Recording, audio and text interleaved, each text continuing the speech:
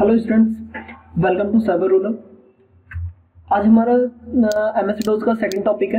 तो स्टार्ट करते हैं अपना एम एस डोज वही सेम चीज़ रन पे जाना है आपको सी एम डी लिखना है। आपका ये ओपन हो जाएगा। आज हम इसकी कुछ नॉर्मल बेसिक कंसेप्ट के बारे में बात कर लेते हैं। बेसिक कंसेप्ट में जैसे कि आप यहाँ पे, अगर आपको इसका डिफ़ॉल्ट कलर चेंज करना हो तो कैसे करेंगे? आपको सबसे पहले यहाँ पे ऊपर राइट क्लिक करना है। राइट क्लिक करने के बाद आपको यहाँ पे प्रॉपर्टी पे जाना है। प्रॉपर्टी पे आपको जाने के बाद आप यहाँ पे देखेंगे जैसे ऑप्शन है सबसे पहले स्मॉल है मीडियम है कर्सर का ये साइज़ बता रहे हैं। स्मॉल रखना चाहते हैं मीडियम रखना चाहते हैं लार्ज रखना चाहते हैं। मैं स्मॉल ही रखना चाहता हूँ। और यहाँ पे कुछ इफेक्ट्स आपको दिखाई दे रहे होंगे। और अगर हम फॉन्ट चेंज करना है हमें, जैसे फॉन्ट का कलर चेंज करना है तो फॉन्ट का साइज़ सबसे पहले देख लेते हैं। उनतीस या चौबीस या बीस। जितना रखना आपको यहाँ पे इफ़ेक्ट दिखाई दे रहा होगा। मुझे इतना रखना है तो ठीक है। और लेआउट कैसा हो मतलब इसकी विड्थ कितनी हो हाइट कितनी हो विंडो का साइज़ पोजीशन वो चीज़ें आप यहाँ से सेट कर सकते हैं। टेक्स्ट का कलर चेंज करना है बैकग्राउंड कलर चेंज करना है? बैकग्राउंड कलर चेंज करना है तो आप यहाँ पे देख लीजिए ऐसे कैसा आपको रखना है। मेरे को ब्लैक रखना है तो ब्लैक ही। टेक्स्ट का कलर चेंज करना है स्क्रीन टेक्स्ट पे आपको क्लिक करना है और अपना यहाँ पे स्क्रीन टेक्स्ट का कलर आपको चूज़ कर लेना है। जैसे मेरे को यही करना है और मैंने यहाँ पे अप्लाई कर दिया तो मेरा वही कलर है। अब ये तो थी हमारी नॉर्मल बातें। अब हम स्टार्ट करते हैं। तो सबसे पहले एक मैग्नीफाई अपना अगेन ओपन कर लेते हैं। हमारा मैग्नीफाई स्टार्ट हो चुका है। तो आपको मैंने पिछली वीडियो में बेसिक कमांड्स बताई थी।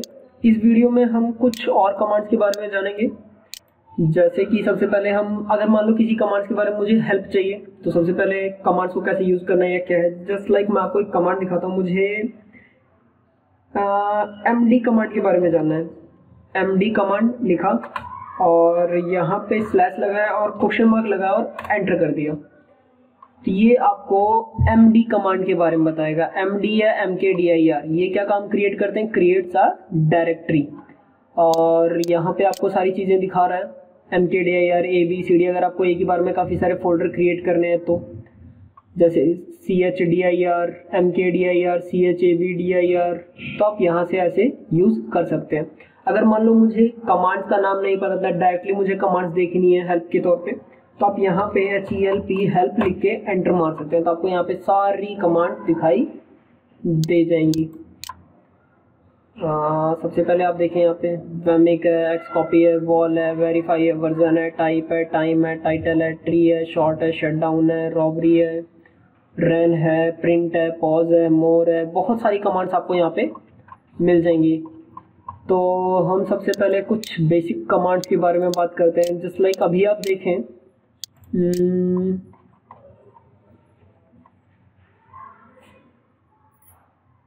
अगर अभी आप देख रहे हैं तो आप जो हमारे ये सी का विंडो है ये अभी छोटा है। अगर मुझे इसे बड़ा करना है तो कैसे करेंगे? एक कमांड होती है मोड मोड लिख के आपको यहाँ पे लिखना है 180 और आपको एंटर कर देना है। हम्म, एक minute M O D mode space 180 मेरा साइज़ फुल स्क्रीन है, पहले से इसलिए अच्छा मेरा यहाँ से फुल स्क्रीन ऑटोमेटिकली हो जाता है, इसलिए। आप अगर मोड 180 लिखेंगे तो आपका जो है, पूरी विंडो पे जो है फुल स्क्रीन आ जाता है, ये देखिए। मेरा पहले से जो है फुल स्क्रीन हो रखा है, इसलिए नहीं आ रहा था। और दूसरी कमांड मोड हो गया एक तो बड़ा करने के लिए, और जस्ट लाइक हम कुछ कमांड देखते हैं सबसे पहले। हम भी हेल्प करके देखते हैं कौन कौन सी कमांड्स हमें यूज़ करनी है। जैसे मुझे किसी फोल्डर का नाम चेंज करना है तो हम सबसे पहले अपने चले जाते हैं वहीं पे डायरेक्टरी में। तो C D space dot backslash लगाया enter sorry C D space backslash enter तो मैं सी ड्राइव में आ गया। अब यहाँ पे सी ड्राइव में आने के बाद मैं सी डी यूज़र्स के अंदर जाता हूँ। यूज़र्स के अंदर जाने के बाद मैं यहाँ पे जाता हूँ। डेस्कटॉप नहीं साइबर किंग के अंदर।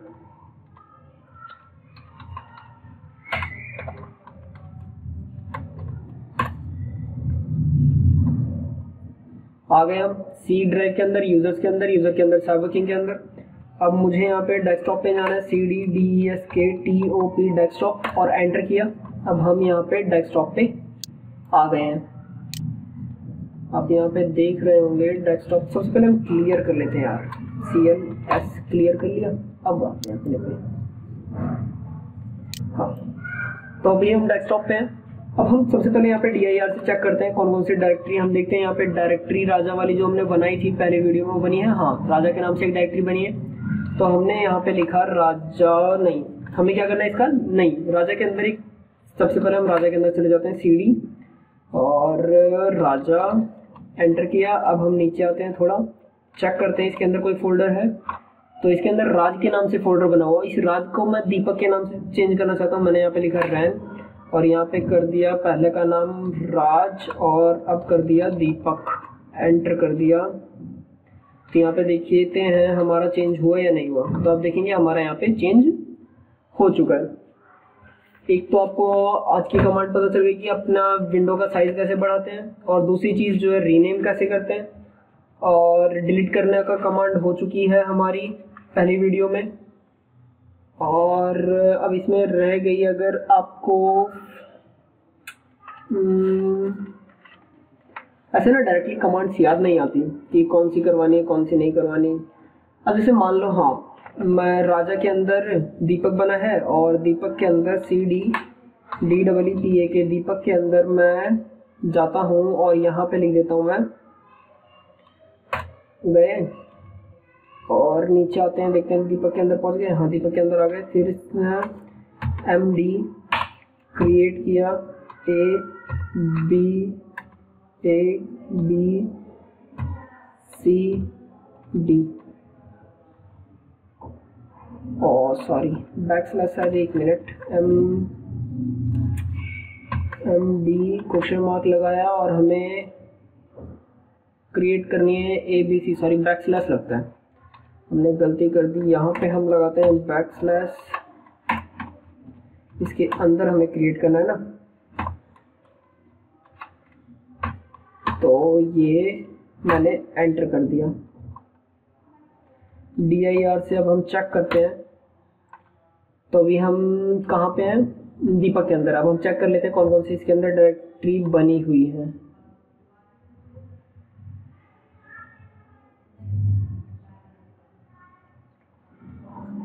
में तो कोई डायरेक्टरी नहीं दिखाई दे रहा तो कोई नहीं। M K D I are राज के नाम से राजा के नाम से बना लेते हैं अगेन फिर M K D I R D W P K नाम से बना लेते हैं। अब डी आई आर से हम चेक करते हैं। तो आप देखेंगे यहाँ पे दो फोल्डर बन गए अब हम बैक चले जाते हैं। C D space dot dot हम्म, अब हम राजा के अंदर हैं। अब राजा के अंदर अगर आप देखेंगे तो एक दीपक नाम का फोल्डर है। दीपक नाम के फोल्डर के अंदर दीप और राजा के नाम का फोल्डर है। अब मान लो इकट्ठी मुझे सारे फोल्डर एक ही बार में पूरे डिलीट करने हैं। तो अब हम डिलीट कैसे करेंगे? एक कमांड होती है डी ई एल उसके बाद आपको लिखना है यहाँ पे tree T R double E enter मारा। आ, देखते हैं could not find del tree काम नहीं कर रही। एक minute, del T R double अब हम करके देखते हैं तो operational program batch file.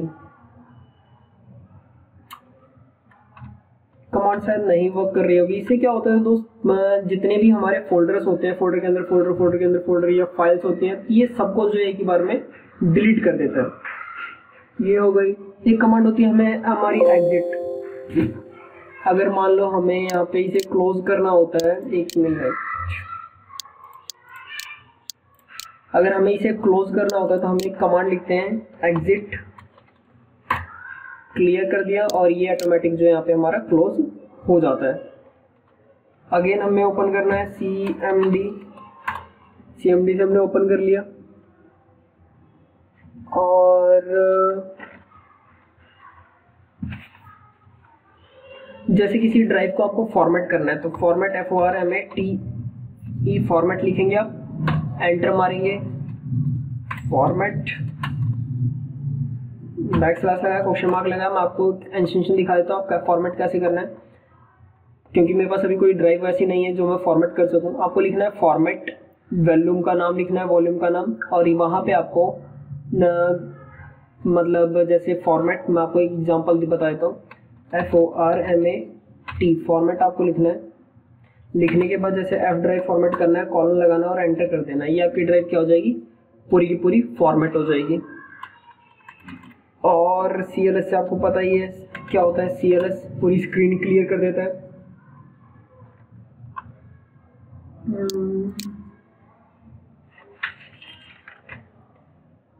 ये थी आज की हमारी का, एक और कमांड है, जैसे मैंने आपको अभी ट्री का बताया तो मैं आपको ट्री का बता देता हूँ। जैसे मान लो मैं यहाँ पे सी डी और बैक स्लैश मैं यहाँ पे चला जाता हूँ सी ड्राइव में, और मैं चला गया यहाँ पे सी डी विंडोज़ के अंदर। फिर C D system thirty two के अंदर। अब मैं यहाँ पे एक कमांड लगाता हूँ ट्री आप ना इसे थोड़ा ध्यान से देखिएगा। तो ये जस्ट लाइक like कैसे मैंने एंटर मारा, ये सारी चीज़ें आपको बताता है किस फोल्डर के अंदर क्या है, क्या फ़ाइल है क्या क्या फाइल्स बनी हुई हैं सारी कमांड्स आपको दिखाता है।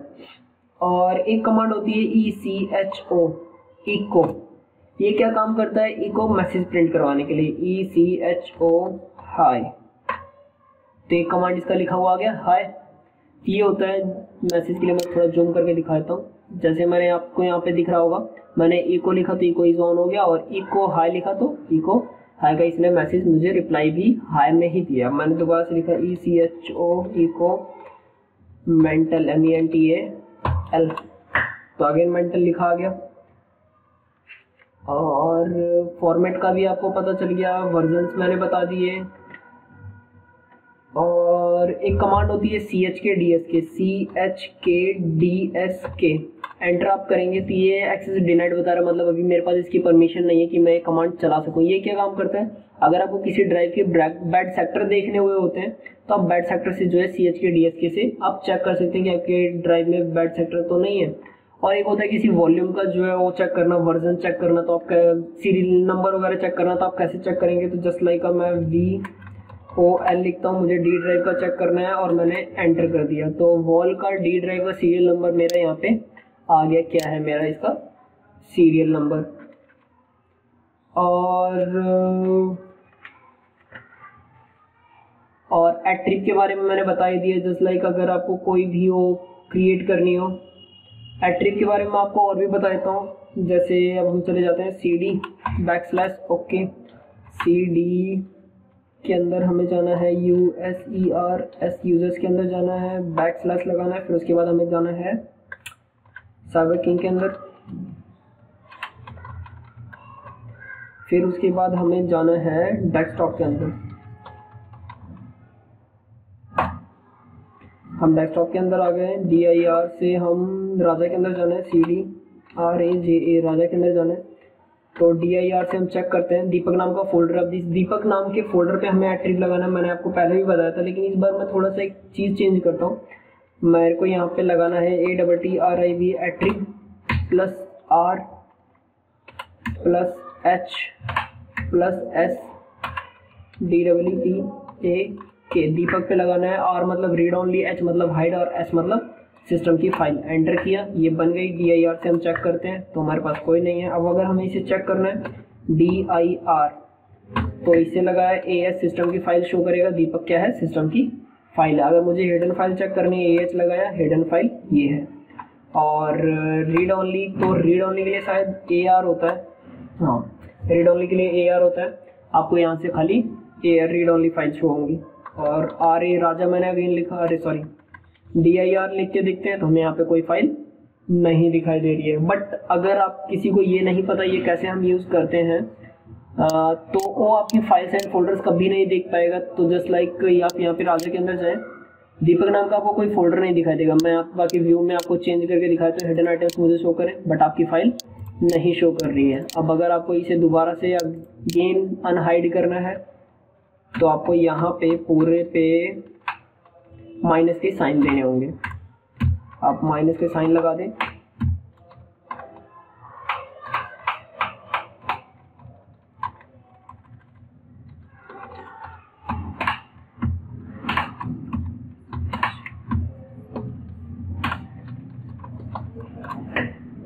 अब आपकी ये फ़ाइल डी आई आर आप कमेंट डालेंगे, आपको ये शो करेगी।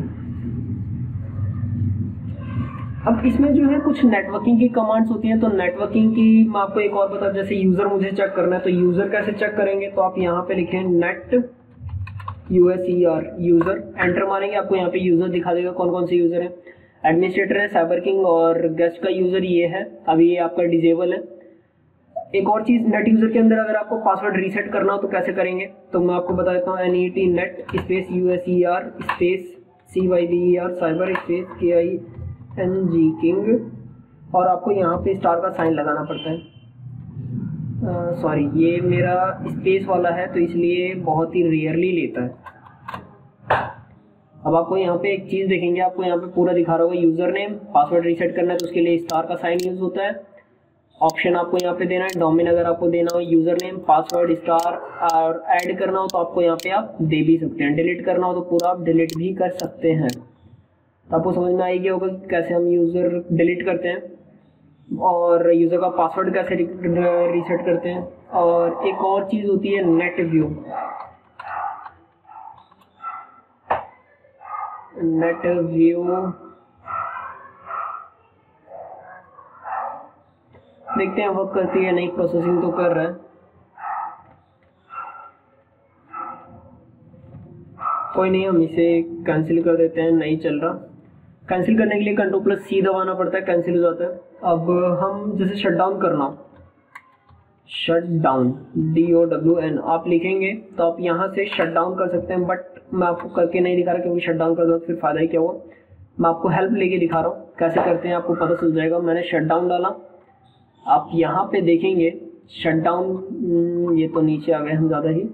शटडाउन आपको लिखना है। शटडाउन के बाद आई किस लिए होता है यस किस लिए होता है, ये सारे आइकन्स आपको दे रखे हैं। अब आपको यहाँ पे नीचे समझा रखा होगा। जस्ट लाइक एस किस लिए होता है? स्लैश में S shut down the computer computer को शट डाउन करने के लिए। Shut down the computer on the next boot next boot पे कंप्यूटर कब शट डाउन हो जाए, ये उसके लिए है। और एल लॉग ऑफ़ के लिए होता है। आई जो है ग्राफिकल यूज़र इंटरफेस के लिए होता है। और ये हेल्प के लिए होता है। और रिबूट करने के लिए fully shut down restart the computer after the system is rebooted restart my registered application ये उसके लिए होता है। और ए जो है अबाउट सिस्टम शट डाउन के लिए होता है। Turn off the local computer time out और वार्निंग ये वार्निंग के लिए देने के लिए होता है। और अच्छा हाइब्रिनेशन में जाने के लिए। और एक चीज़ होती है कमेंट के लिए। कमेंट अगर आप कुछ मैसेज रीस्टार्ट कर रहे हैं या शट डाउन कर रहे हैं, कोई आपको कमेंट देना तो आप यहाँ पे कमेंट भी दे सकते हैं। जस्ट लाइक मैं आपको एक एग्जांपल देता हूँ। S H U T shut down D W N hyphen में एस लगाया और नहीं सॉरी एस hmm, लगाया स्पेस दिया टी लगाया और टी के बाद अगर मैं ज़ीरो ज़ीरो यहाँ पे लिख देता हूँ तो ज़ीरो सेकेंड में क्या है? सिस्टम बंद हो जाएगा। और मान लो मैंने 120 डाल दिया तो ये 120 सेकंड में बंद हो जाएगा। और मैंने यहाँ पे अगर सी लिखा, और सी लिखने के बाद मैंने यहाँ पे डबल कॉट्स में एक मैसेज लिख दिया। System not working S Y S T E M system not working W R K I N जी आपने अगर इतना लिखा तो ये क्या करेगा?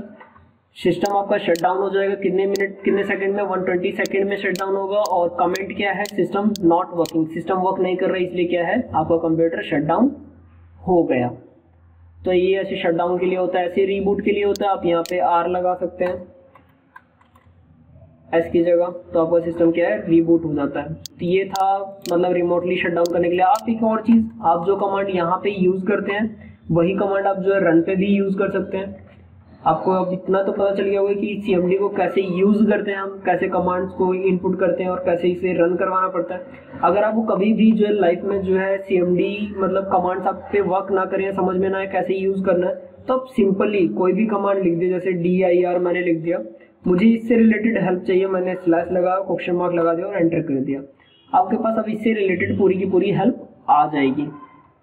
जैसे मैन यूज़ करते हैं हम लाइनेक्स में, वैसे ये यहाँ पे बहुत ज़्यादा डिस्क्रिप्शन आपको दे देता है, जैसे D H S system file show करने के लिए एल कैसे यूज़ करते हैं, सारी चीज़ें आपको यहाँ पे बता देता है। पूरे डीपली जो आप यहाँ पे पढ़ सकते हैं कि कैसे कैसे यूज़ करवाना पड़ता है। जैसे आर के लिए रीड ऑनली और एस के लिए यूज़ करते हैं जैसे मैंने आपको बताया था। आपको समझ में आई गया होगा। तो अब हम एम एस डोज की जो वीडियोज़ हैं, हम यहीं पे इसे कंप्लीट करते हैं। दो ही पार्ट्स की वीडियो थी। और जो इसका थर्ड पार्ट होगा थर्ड पार्ट में आपको सिर्फ़ नेटवर्किंग की कमांड्स बताई जाएँगी कि नेटवर्किंग की कमांड्स को हम कैसे इसको जो है इसके अंदर यूज़ करते हैं। जस्ट लाइक जैसे पिंग हो गई नेटवर्क की कनेक्टिविटी हो गई, ये सारी कमांड्स हम इसके अंदर कैसे यूज़ करते हैं, ये चीज़ें आपको बताई जाएँगी। और जैसे डीएनएस को फ्लश करना हो मतलब डीएनएस को पूरा की तरह फ्लश कर देना, जैसे मतलब ऑटोमेटिक जो रीसेट कर देना हो, वो कैसे यूज़ होते हैं और आईपी एड्रेस कैसे निकालते हैं मैक एड्रेस कैसे करते हैं।